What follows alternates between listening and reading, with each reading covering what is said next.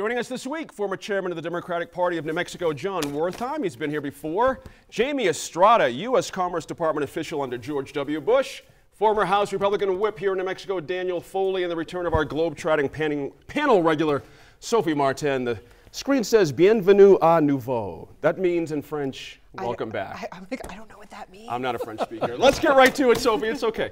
All right. You think about back a little bit mm-hmm. when Governor Martinez was running. Yeah, Big, strong case about transparency, corruption. absolutely, absolutely. She's gotten good polling on this. People are supporting her on this. Democrats and Republicans are supporting on this.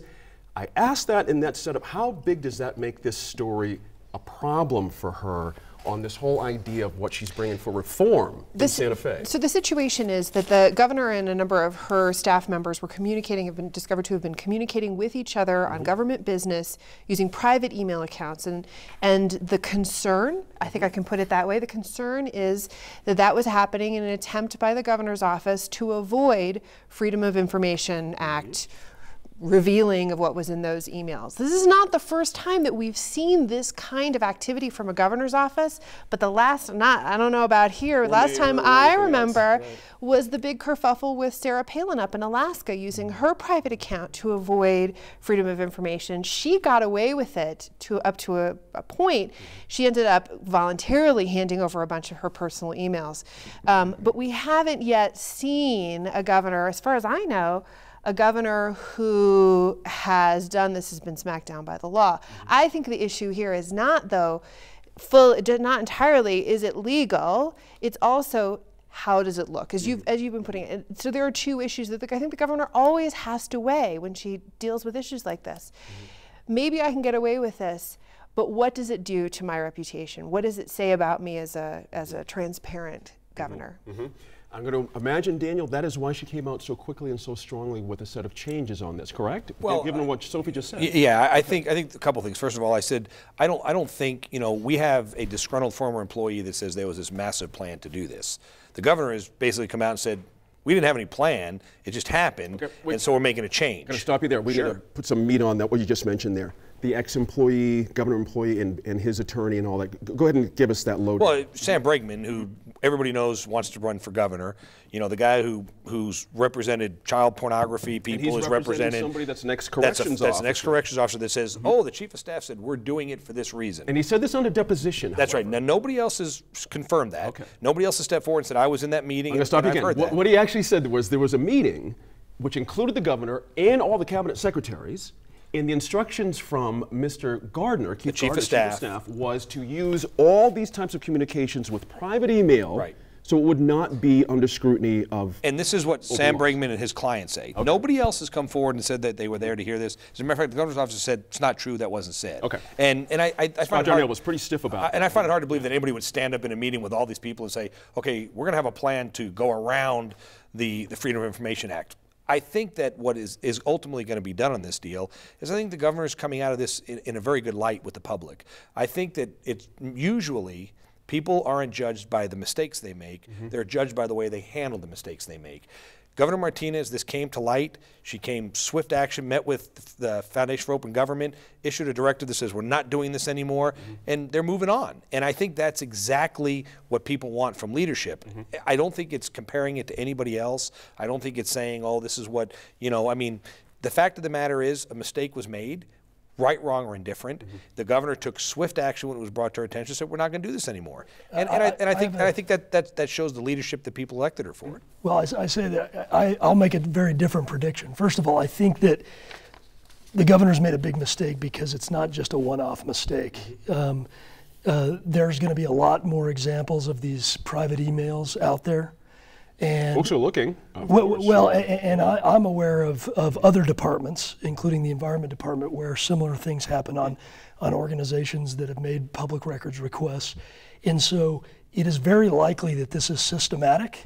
Now, whether it was actually said at a cabinet meeting or not, mm-hmm. that may not be true. Let me, let me, But- let me but- stop. That may not yeah. be true. And let me stop you there, though, John, because how did everybody know to get on private email for these communications? There had to have been a decision made. Well, well, I think there was, Where and how, we and I think it know, is systematic as we start. You know, if what Dan has said is true, Mm-hmm. then we're not going to find any more of these emails. I predict very strongly here that we're going to see this rollout and this is not going to be the end of it.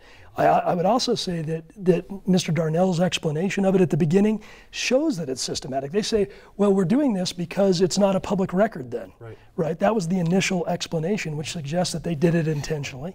And then beyond that, they're using Susana PAC email. They're not using Gmail or Yahoo.com. They're using, uh, you know, her political email. And so that is very unusual. I think that pri- a lot of uh, office holders have their staff use Gmail or something for political communications because it's often illegal. Uh, it is illegal to, to do uh, you know political business on state property.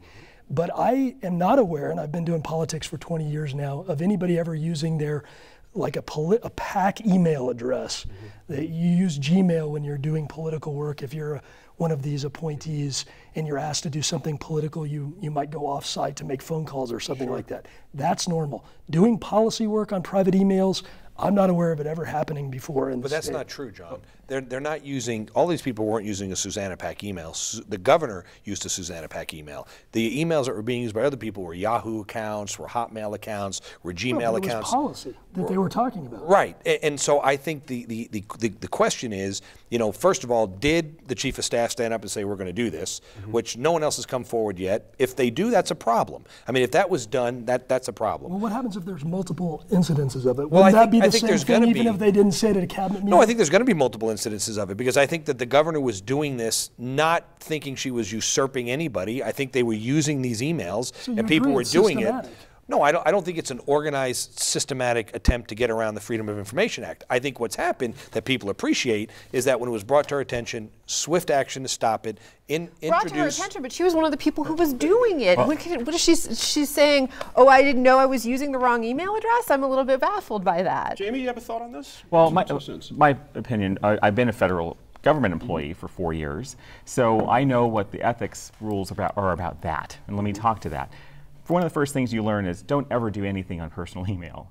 Don't ever do anything political on a government computer because that is not owned by you. And anything, any conversation that you have of a political nature um, has to be done on the sidewalk on Constitution Avenue. You can't go and do this in, within the confines of your building. And, and that was just a regular approach to doing this. But back to the email situation, the federal world, mm-hmm. um, no one ever did this in my, you know, in my experience, except for the occasional State Department employee that was traveling overseas that said, you know, I can't get access to my government email, so here's my out of, out of office reply. Write me at dot dot dot at yahoo.com. Mm-hmm.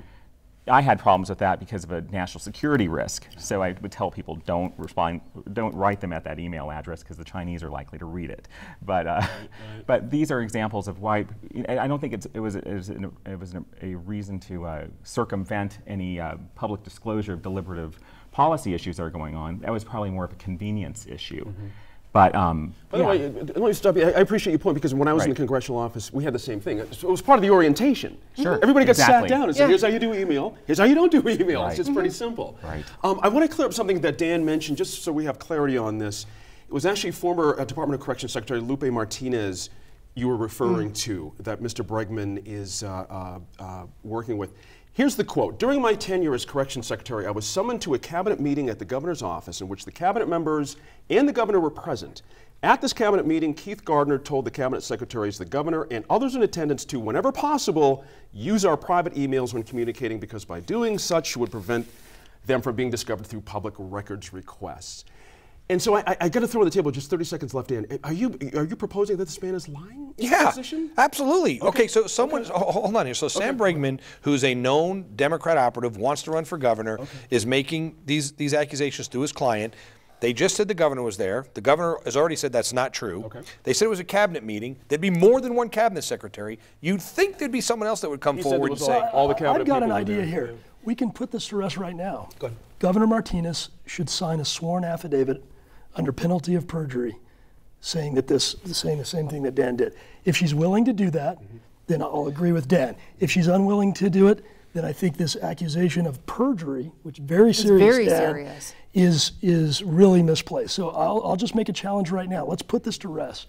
let's have Governor Martinez make a sworn statement to that effect. Mm-hmm. And, and, and I just, you know, I mean, not to muddy the waters with what we're talking about, mm-hmm. we can do this, the sworn affidavit. It's interesting that my friends on the far left are all excited about this, but yet when we had a campaign manager and chief of staff of the former governor, mm-hmm. we were okay with that. We were okay with the same guy doing the same business out of the same office. None of these folks had a problem with that. Nobody had a problem with all the different emails that the governor, nobody had a problem with all of Governor Richardson's denials. I'm not comparing Governor Martinez to Governor Richardson. What I am comparing, what I am saying is that when it was brought to light to Governor Martinez, this is wrong. Mm-hmm. She met with the, the mm-hmm. Foundation for Open Government, said done, finished, directive, made the action. That's what leaders do. There you go. One, last, I'm going to stretch out a little bit. Take a little more time, Sophie. Okay. Uh, Gary King, our Attorney General, it's now on his desk, so to speak. A request from a couple legislators. Does he actually have a, a, role here? Do you think? Is there something he can do here in this? I, I mean, he certainly could. Uh, he could attempt to pursue it. Uh, you know, this is not a, a situation where this isn't. We don't have a rule about this from the courts. We,